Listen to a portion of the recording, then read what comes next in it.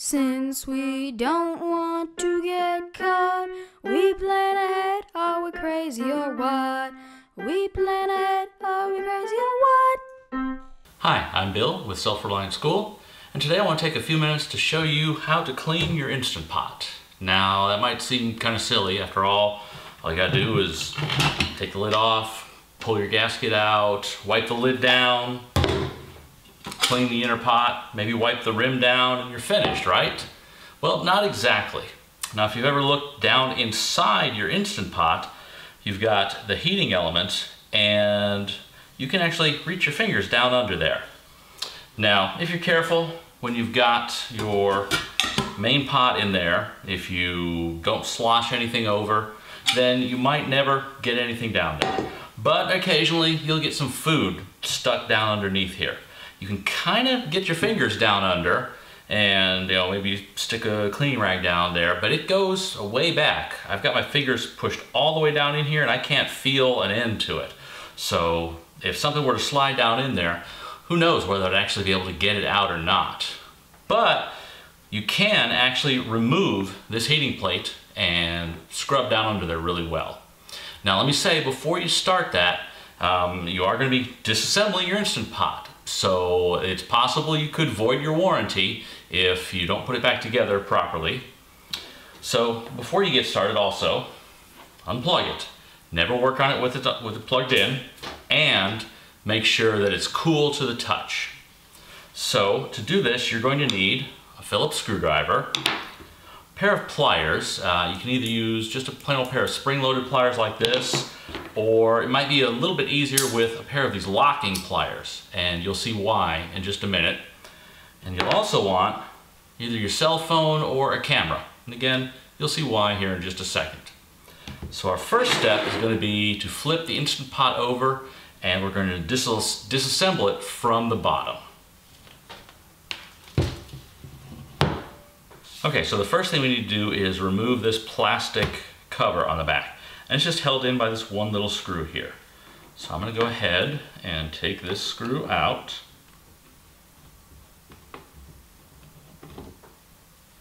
Set that to the side.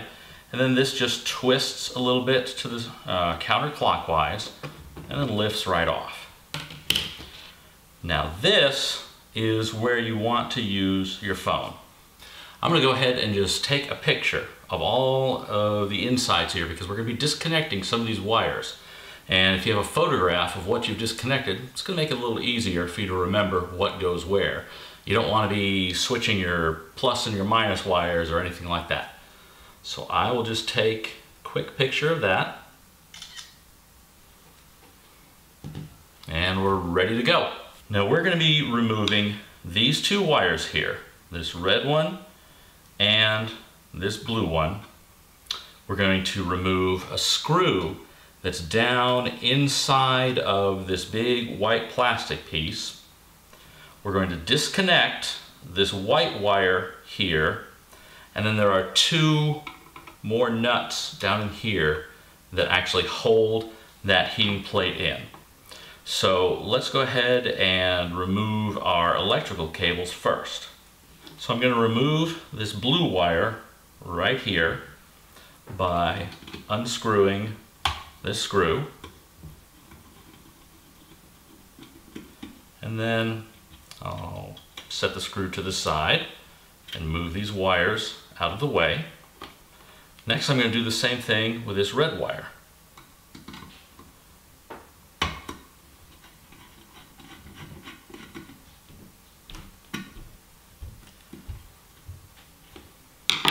And I'll set this red wire off to the side. Next I'm going to remove this screw here. It's actually one of the screws that's holding that heating element on. Now this guy can be relatively tight, so you're going to have to kind of push down, give it a little bit of force, and then you will just unscrew that.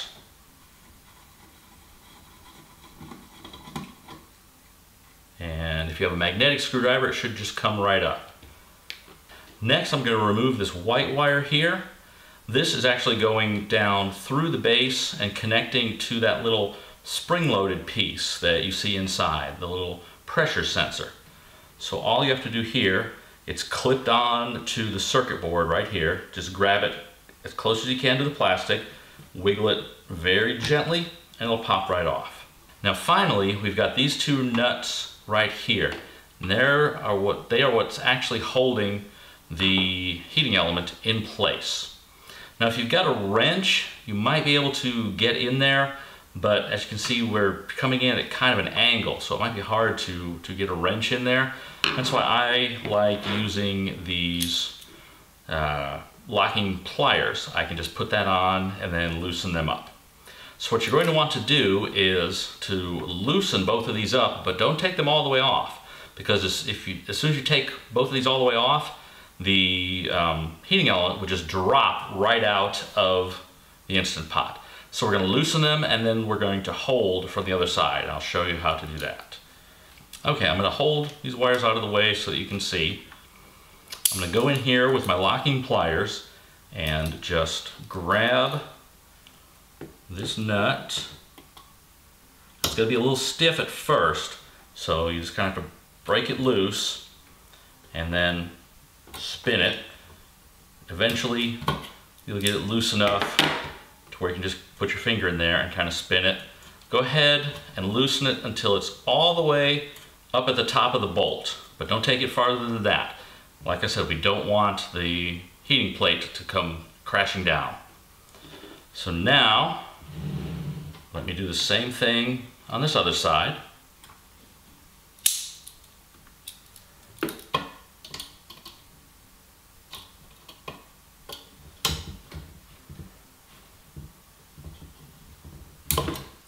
That guy is now loose. I can go ahead and loosen that all the way.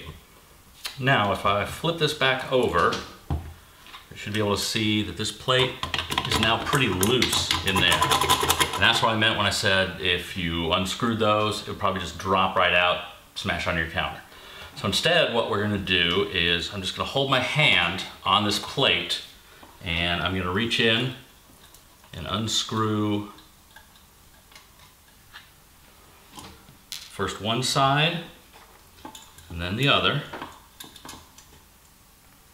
Now you've got both a nut and a washer on here. So you want to make sure that you don't leave the washer behind and it gets lost somewhere inside of your Instant Pot. So I'm going to make sure to grab both of the washers. Okay, now this may or may not just pop right out. If I let it go,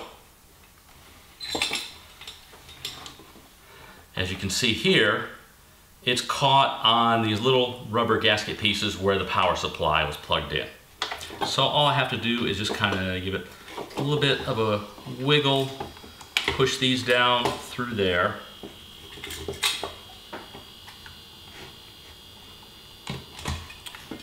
And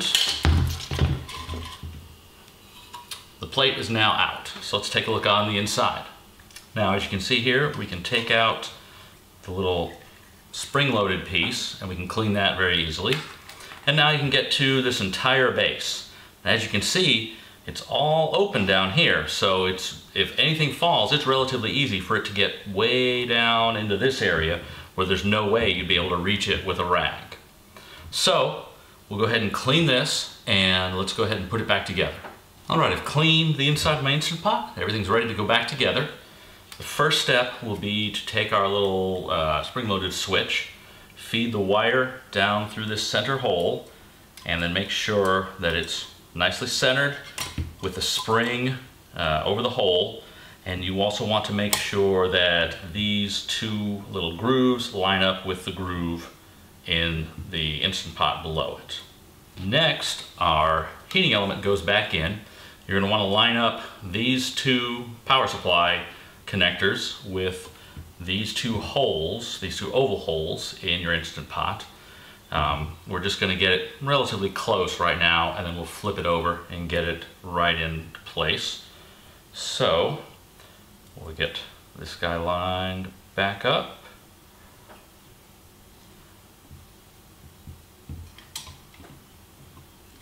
And then with the two electrical plugs lined up, you'll need to wiggle the heating plate just a little bit to get the two bolts to slide through the small holes. And then I'm gonna go ahead, flip it over so that I can work those two little rubber pieces through. I'm holding the uh, heating element so it doesn't fall through. And I'm just gonna look from this side, make sure everything's lined up and push. And everything goes through. Now, I've still got my hand under here because it would want to fall. So what I want to do at this point is to get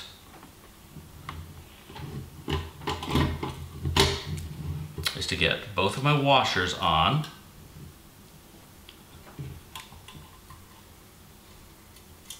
And then once I just get once I get these nuts started, I can take my hand out from the inside of the Instant Pot.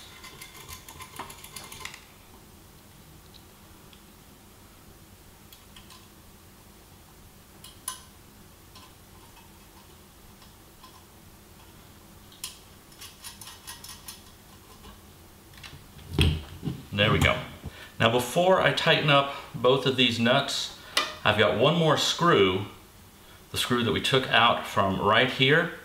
That has to go all the way through this piece, through the bottom of the pot itself, and into a screw hole that's on the other side of the heating element. So everything's got to line up perfectly.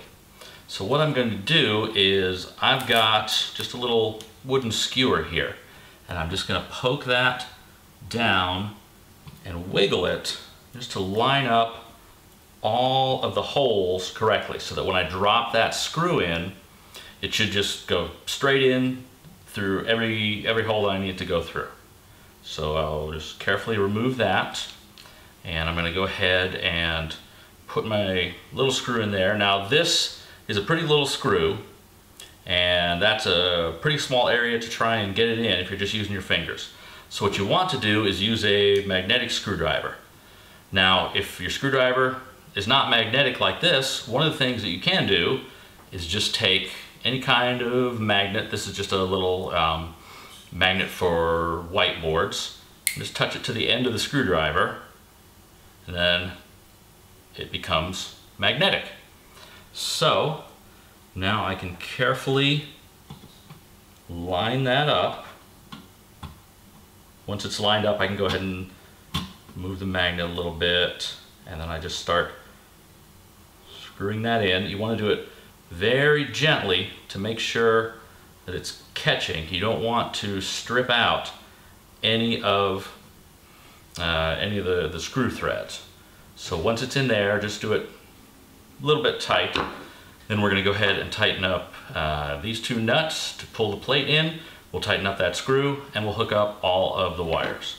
So I'm just gonna take my pliers, go ahead and tighten these.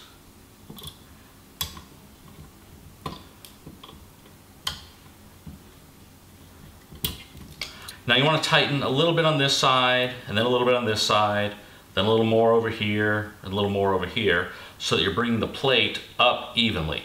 If you tighten too much on one side, it could go slanted. You might wind up stripping a screw hole or something. So I'm gonna go ahead and finish tightening. And now finally, I'm gonna go ahead and tighten this screw here.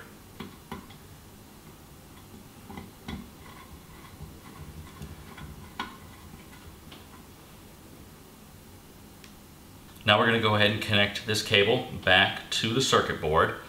Uh, you'll notice that there is a notch on one end of the cable, so there's really only one way that it can fit in. You don't need to worry about getting it in backwards.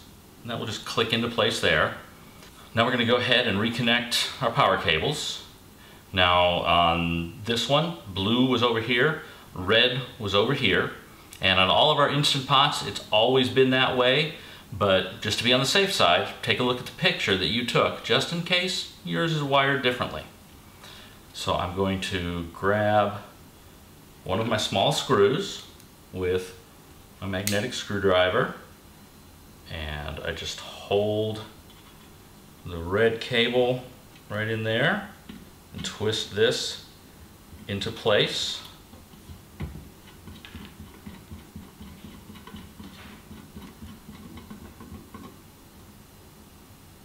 And then on the blue side, we actually have two cables that we're going to do the same thing to. So I'm going to go ahead and run my screw through here first, just to make it a little bit easier. Then I take my screwdriver, line it up, and tighten it down.